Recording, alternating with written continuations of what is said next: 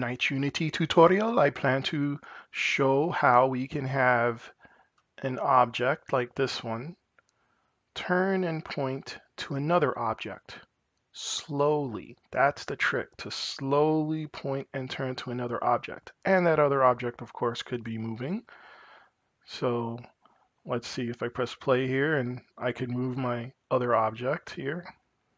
I think just to make it a little easier, I'll have this z-axis which is forward, point forward. So when I'm moving, it's not as, I could just have the sense I'm moving in the right direction here. So how do I get this to keep pointing at my um, my square, but to point at my square slowly, not like locking onto it.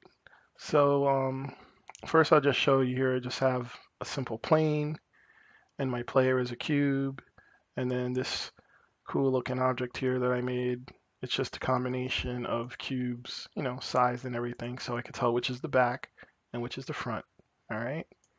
So the player, it just has a script here for the movement and it's really simple. I have a speed that I move at. Then I read the input from the horizontal and vertical axis. That means that I could use a joystick or I could use the WASD keys or I could use the arrow keys to move around. All right, so now if horizontal and vertical have a value, I'm going to move on the X or the Z. And then I use transform.translate to move whatever amount on the X or whatever amount on the Z. Okay, so that is not the um, focus of the tutorial. That's just showing you how I made the script to move the cube around.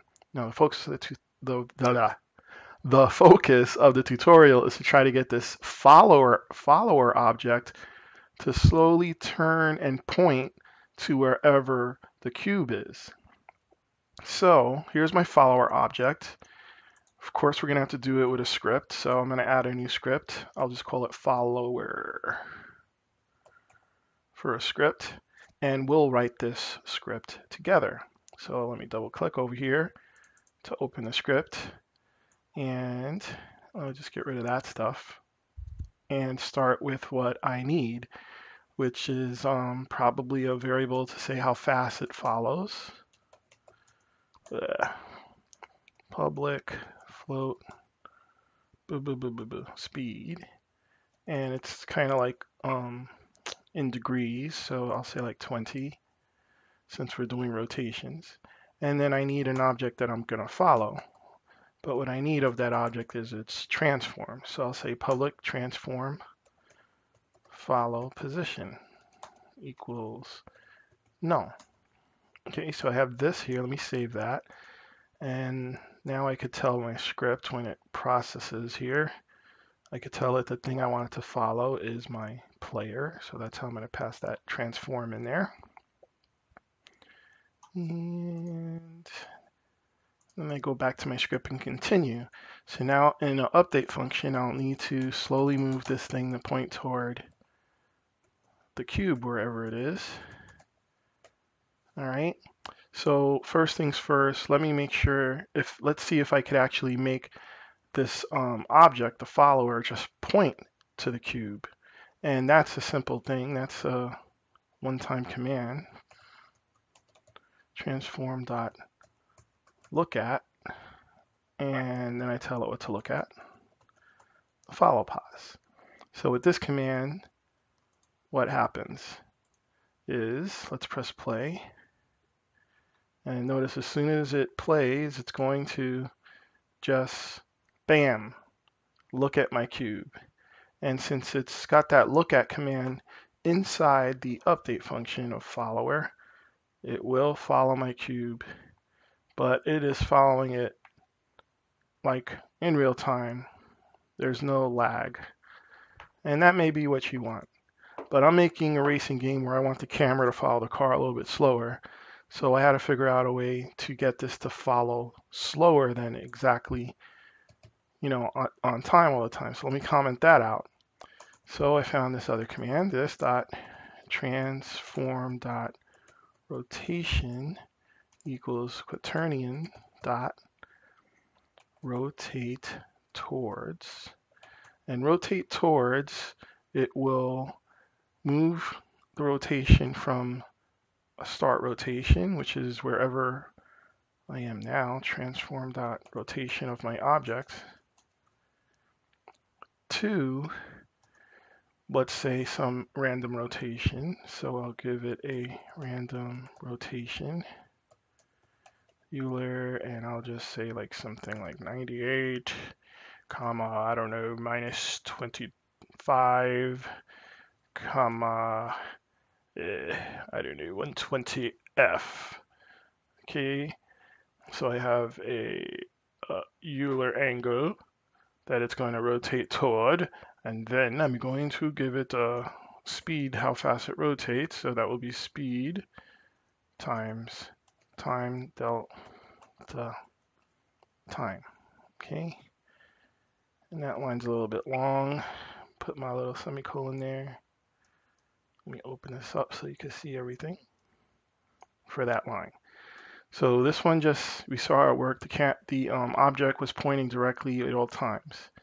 And this one, it's gonna rotate towards my target rotation, not the object, not my cube yet. It's gonna rotate toward a target rotation, which here I just gave it a random rotation, but it's gonna rotate toward that direction at this speed. So it won't be exactly at the same time. So now let me save that and go back to Unity and press play and keep your eyes on the follow object. Okay, so here I press play and we'll see the follow follower slowly turns this time toward whatever angle that was that I had it to point at. I don't even know, I just gave it some random angle. And there it goes, it reaches that random angle and then stops. Okay, so the difference about this one was instead of look at, which just bam, points right there at it, with the rotate towards, I was able to give it like a speed to move toward the rotation.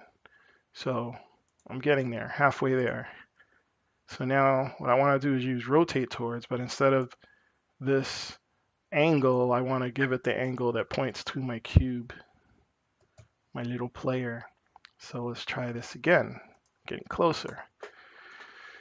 So what is the angle that looks at my cube, my follow pos? That will equal a quaternion, and this I'll be calling my rotation target rot target equals quaternion dot a look rotation. Okay, that's a rotation to look towards some direction. So the direction I wanted to look at is from my follow pos dot, that is a transform array position, minus this position, transform dot position. So that's going to that's to give me the quaternion that has um, from my follower to the follow position. Okay, so now I have a rotation here that equals this that I had put in over here for this Euler. Now I have a rotation.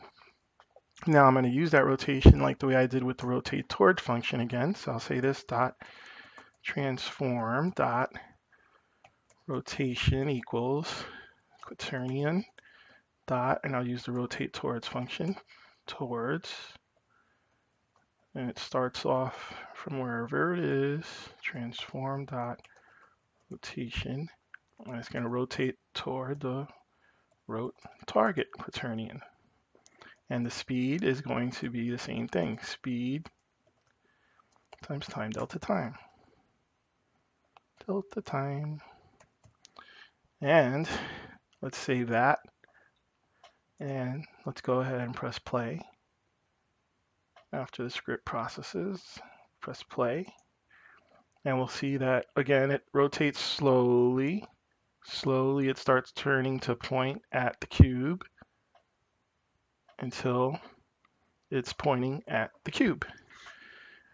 Now if I move around, you'll see that it slowly and the slowness is basically my speed that I give it points toward the cube. So I come over here and slowly it's going to start turning and pointing toward me. And that was the thing that we wanted to do in this tutorial now. I can increase the speed that it rotates at to 100 degrees. And let's see how that works. And you can see it follows faster. Or like I said before, I could just make it really slow, like 10, 10 degrees.